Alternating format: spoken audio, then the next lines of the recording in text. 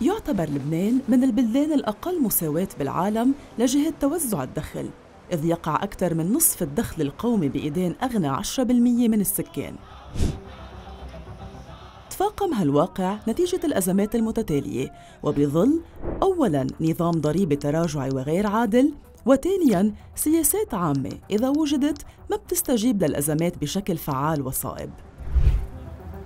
أما السؤال يلي بيطرح نفسه خاصة وأن الدولة اللبنانية اليوم أمام مفترق طرق لاستعادة شيء من الاستدامة المالية وإعادة النظر حكماً بالنظام الضريبي هو وين فشل النظام الضريبي وكيف أدى للمزيد من عدم المساواة؟ أولاً وعلى عكس ما قد يكون شائع النظام الضريبي بلبنان ما بيأمن إيرادات كافية ببساطة ما بتحصل الدولة إيرادات كافية لتمول الاحتياجات الأساسية لمواطنيها.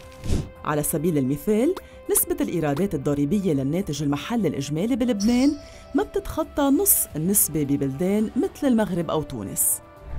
وقدرت دراسة حول النظام الضريبي أعدتها جمعية Financially Wise بالتعاون مع معهد باسل فليحان المالي والاقتصادي أنه مقابل كل ضريبة غير محصلة توازي نقطة مئوية من الناتج المحلي الإجمالي تتكلف الدولة ما بين 34 و 36 مليون دولار أمريكي سنوياً ما أجبر الدولة اللبنانية على اللجوء قبل الأزمة إلى الاستدانة لتمويل الإنفاق الأمر يلي بيزيد من الديون وفوائدها. حتى بعد وقوع الأزمة ممكن توصيف استجابة السياسة الضريبية بأنها خجولة. لأنه تردد صانعي القرارات بشأن إدخال تعديلات ضريبية لتجنب الاضطرابات الاجتماعية. هالأمر رتب أكلاف إضافية كان لها أثر عميق على المدى الطويل إن كان على صعيد الإدارة يلي شهدت هجرة كبيرة أو على صعيد العدالة يلي تشوهت بحكم الاعتماد المفرط على الضرائب غير المباشرة. ثانياً الإطار القانوني قديم ومشرذم. يرعى أكثر من 350 نص قانوني وإداري مختلف ضرائب الدخل والضريبة على القيمة المضافة رسم الانتقال وضريبة الأملاك المبنية مما يجعل من الصعب على الإدارة ضمان الالتزام الضريبي بفعالية وبالتالي إنصاف جميع المكلفين. فضلاً عن ذلك التعديلات يلي تم اعتمادها بمعظم الأحيان بقوانين الموازنة تنقض مفهوم التصاعدية وبتخلق حالة من الارتباك. ثالثاً المعاملات التفضيلية منتشرة بشكل كبير. فأكثر من 135 فئة من المؤسسات الفردية والصناعات و27 فئة من الأفراد استفادوا من إجراءات تفضيلية بما في ذلك الإعفاءات والتنزيلات بموجب قانون ضريبة الدخل ورسم الانتقال وضريبة الأملاك المبنية والضريبة على القيمة المضافة.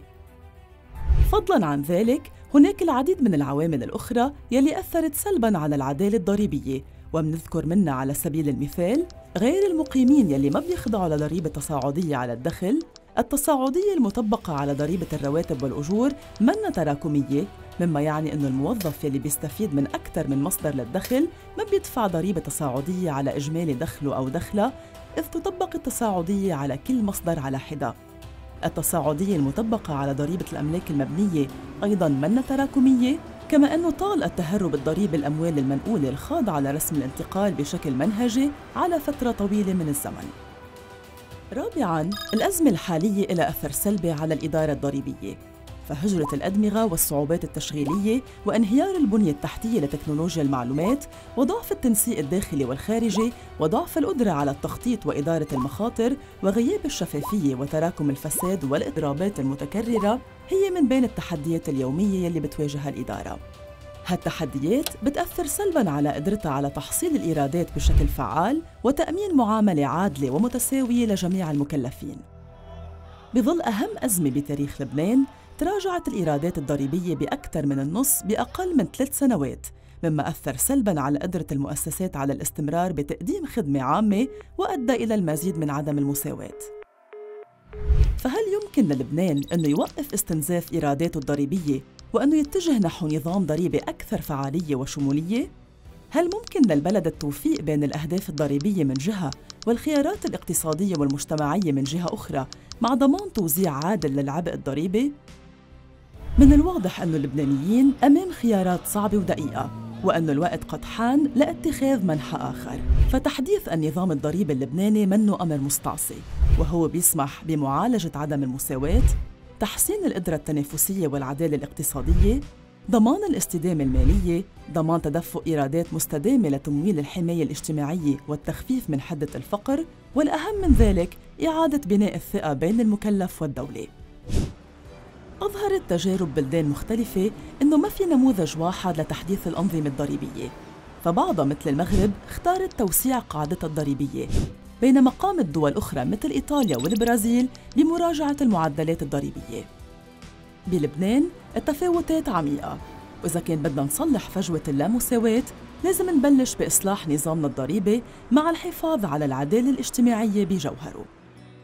لمعرفة المزيد عن عدم المساواة بالنظام الضريبي اللبناني والتوصيات اطلعوا على الدراسة كيف يمكن لنظام ضريبي جديد استعادة النمو وتحقيق العدالة.